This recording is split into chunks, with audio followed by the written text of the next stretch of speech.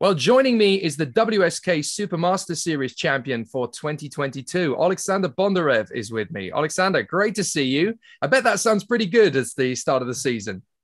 Yeah, of course it does. It does, especially like the second, uh, the first championship of the season, and I already won it, so it it, it does feel very nice coming into the main body of the season, we've obviously had a few events now. We had the Champions of the Future Winter Series where you were really strong at the front and you've won the WSK Supermaster Series to start the year. Just how much has that boosted your confidence coming into the main body of the European season? Of course, when you are at the front, uh, it, it raises your confidence and every time you you for example win the quali or win the race or finish on the podium it, all the time it raises your confidence and uh, you, you stop worrying about things like uh, do, do you have the pace and all those things and you start like pushing yourself to, to the limits already in the european races and you've obviously had a very difficult start to the season. Uh, last year, obviously, you were racing uh, in this championships uh, as well in OK Junior, but you were racing as an independent. You were racing as a privateer, which is a very different task compared to now when you're racing in one of the top teams in the sport.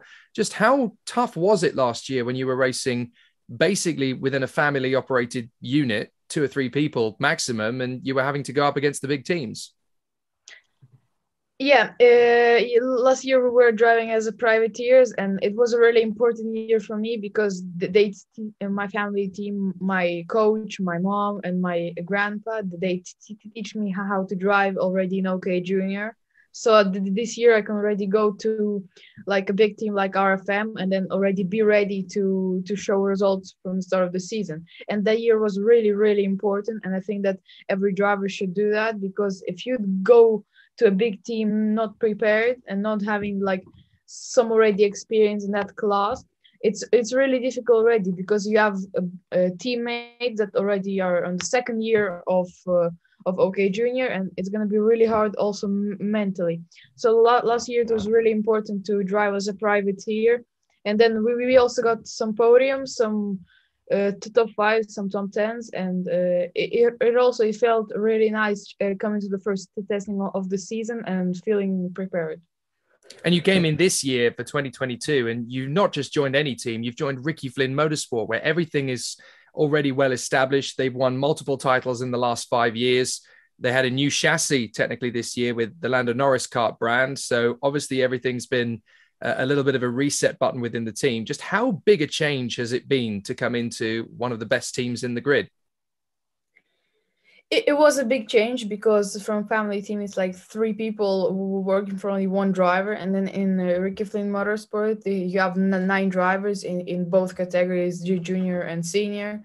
So it, it's kind of uh, like already a better system because yeah, they, they already work at the front like for many many years. They won multiple european and world titles. So they already have uh, some experience of uh, being at the front and we felt like RFM was like a really good, good team for the season for a season that we are uh, planning on uh, winning most titles and you've come straight into this year and only already had about five or six outings within OK Junior within the Ricky Flynn Motorsport squad, and you're already at the front. You've come straight in to the team, and you're already getting pole positions in time qualifying. You're winning heats. You're running in the top five. Are you surprised by just how quickly you've been able to get to the front of the field in your second year, and you're first within a team like this? Yeah, uh, it, it was very surprising. Of course, on the, on the first race of the season in WSK Supermaster Series, I won the race on track, but then I got a bumper penalty for the last uh, lap move. And uh, it already gave me confidence because I just came into the team. I did like three t- testing, and then I, am already uh, able to finish like in the in the uh, in the top three, P1, P2, P3, and it, it gives a lot of confidence and seeing that I'm always at the front in every I'm trying to be at the front in every race of the season it it gives like it, is very surprising because uh, uh, last year we weren't that that fast but then we came to Ricky Flynn Motorsport and we started going like really really fast and also with the one engines that are really, really good as well we are able to run at the front uh, in every race now, this is a, a, difficult subject to talk about, so we won't spend too much time on it. But in 2022, obviously being a very proud Ukrainian and racing and competing on the world stage, I mean, you are one of the few people who is essentially flying the flag for your nation on the world stage of competitive sport and never mind motorsport. And to come out as a champion in your first year when everything that's going on is going on, how big a motivator is that to really continue the conquest and to just keep pushing uh, to get as many victories and as titles as you can over the year. It must be quite a big thing for you to be able to carry the expectations of your nation behind you. No, I mean it's really hard to see that I'm only one of the only ones in in the in, in karting right now uh, driving under the Ukrainian flag because everyone is staying at home in Ukraine during this hard time of war and all, all the tracks are ru- ruined in Ukraine. The track where I uh, I grew up in Kiev is ruined, so it feels really bad to see how like what a hard time you Ukrainians are having right now. And uh, I'm trying to win as many races right now to to at least uh, uh, raise their motivation to to go and fight and win the war and when you won the title in uh, Supermasters, I mean, what a glorious moment! You got to go out there on the podium with the Ukraine flag, and it was a wonderful, wonderful moment for you and for the whole team as well. And they really have got behind you as well. The whole team are supporting you and pushing you through this year. It's it, it's like a huge family that has embraced you on board. How big a support is that for you to keep pushing at the front? Yeah, especially after the second round of the Supermaster Series in Lonato, the war started, and uh, uh, it, it, made me feel even more responsible for for my driving on, on the world stage. And uh, my front is karting, so I'm trying to, to to win on my front, and then hope for Ukraine to win uh, also in the war. Now, this weekend coming up is obviously the European Championship kickoff at Portimao in Portugal. A couple of weeks ago, you were there for Champions of the Future, which was the warm up to the European Championship. And you came straight into time qualifying with the fastest time, not just in your group, but over everybody. So that must have been the most phenomenal kickstart in terms of your preparation for the European Championship. And there was one heat over the entirety of the heats that you didn't win, and you got the podium in the final. So, just how confident now are you that you can do a similar job coming into the European Championship? And is there a chance that you can go even better? And could you win the opening round of the championship? Yeah, uh, of, of course, in the Champions of the Future, uh, I got uh, pole in time qualifying, and that's my my first pole in OK Junior, and it felt really nice. I got P2 overall in Sarno in the last round of the Super Masters, and uh, like it made me even more like um, like it, it made me want it even more. So uh, in in in Portimao when I came there I knew that yes I, I have to go P1 in qualifying now because I, didn't do it in any race in my time in OK Junior. So uh, I did everything. I, I won heats. I got pole in time qualifying in uh, in the Champions of the Future. The only thing that I, I didn't do is I didn't win. So um, that, that's my goal for the Europeans and what was really interesting, you know, when I got to speak to you in between heats when we were out in Portimao, is that you weren't getting excited about it. You weren't really feeling like the job was done. Even when you were fastest in qualifying, when you were winning heats, when you were showcasing your true ability, you weren't really letting it get to you. Are you the kind of racing driver then that you just soak it all up. You don't really let yourself get excited about things until the job is done. Or do you feel that you're still building as a driver? You're still trying to really feel your way around the kart and how quick you can be? No, uh, in in Portimao, in between the heats, I wasn't getting too excited because I, I already won heats b- before, and I, I got really excited about it. I had too much confidence, and I was like, "Yes, I, am uh, I, I am able to win." And then uh, when i came to the race i just got too nervous and then i just i didn't do like as much as i can and the same thing happened in the champions of the future. I got a really poor start because uh, Kirill Zitiev overtook me from P3 and uh, from that point i couldn't really get the temperature into the tires like the one that i did in the superheat where i pulled away by two and a half seconds. And uh, th- that was the main problem. So my goal for the Europeans is just uh, learn from my mistakes and uh, not do the same mistakes there. Now, 2022 is going to be a difficult year anyway because we have four rounds of the European Championship on four very different circuits as well uh, over the course of the year. But then the World Championship this year is taking place in Sarno, which is a circuit that you know really well and you've had good success there.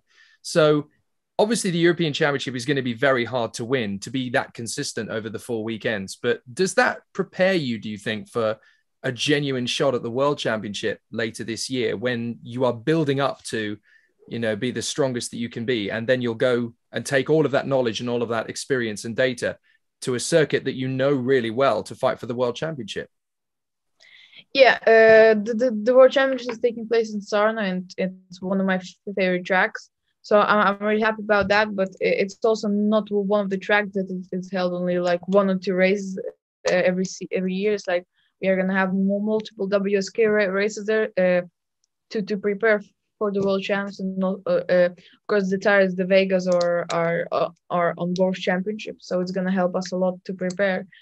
And, and uh, of course yeah uh, the, uh, the whole season is gonna be ha- like the, the preparations to, to, to then everybody is gonna prepare themselves throughout the year to then like tr- try to show their mark in the world champs and of course, last year you had, you know, good experience of running at the front of an FIA championship because not only were you a junior as an independent, but you also raced and was very successful in the Karting Academy Trophy, which is an amazing uh, competition. And you got to fly the flag for Ukraine on the world stage in equal equipment to everybody. What was that like as an experience? You know, not having a team essentially, but being there fighting in equal equipment with drivers that you'd never met before, you'd never raced before, but being able to represent your country on the world stage? Of course, the, the, the three races of the Academy Trophy last year were only Adria was a track that I know, and Kristianstad and Wackersdorf were completely new tracks for me.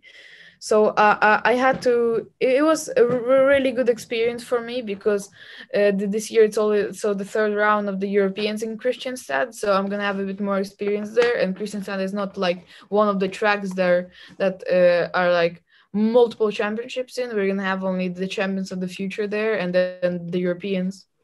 So uh, it's it's gonna be like a really good preparation. Also, how we were in the academy to to this year already in the Europeans. And I was talking with some of the Ricky Flynn mechanics last time out when we were together in Portimao uh, about you. And they were saying, you know, the difference between you as a driver last year compared to you as a driver this year has been staggering. And the team really want you to progress. They are really behind you, pushing you to try and go faster and faster. And they can see that there's a real superstar breaking out. What would you say is the thing that's really changed from last year to this year? Where have you improved as a racing driver and where are you getting better all the time? Yeah, uh, I think that I, I, improved the most at uh, being calm at the front because last year my main problem was that I, I went out in front and then I couldn't keep up the same pace as uh, I did when I was behind someone. And this year, as I'm driving always at the front, I have a bit more experience of driving at the front. So uh, I have more time to, to study how to drive alone and to keep the same keep up the same pace as I am when I'm behind someone. So that that was like the, the biggest thing because even last year in our family team in Sarno, I led uh, like some heats and then as soon as I get out in front and have a gap, then everyone is starting to catch up to me because I started to get nervous I start to think like, oh my god, they're catching me up to me. And this year it's uh, completely different because I felt I started feel started feeling more confidence uh, driving at the front, and that's I think the main change. So coming into this year, there's obviously quite a few drivers within Ricky Flynn that can challenge for the championship.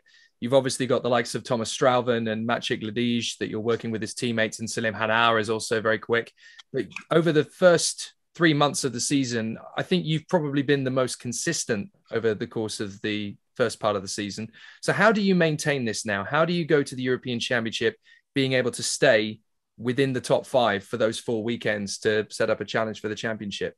The main thing why I won the, the Supermaster Series was because I was the, the most consistent of all the drivers because I was always I was always in the top fives throughout the first three rounds. So that gave me a, a big point gap coming into Sarno that made me like go not pushing too much just trying to not like stay uh, just trying to stay out of trouble and not get into any collision, and th- that's what got me the title. But in the first three rounds, I was pushing like crazy because it was the first time that I was like able to, to drive at the front, so it was it, it felt really good. And, and, of course, in the first round after the penalty, I got P4, then round two P2, then in La Conca I won, and Sarno I got t- taken out in the final, but it's still it, it felt really good getting the uh, the championship. So it sounds fantastic. I know there's hundreds and thousands of people out there who want to see you succeed and want to see the Ukraine flag on the top of the podium and as many FIA karting events as possible this year. So we wish you all the best. Good luck with it. And hopefully we will hear an awful lot more about Alexander Bondarev over the course of the season. Good luck. Thank you.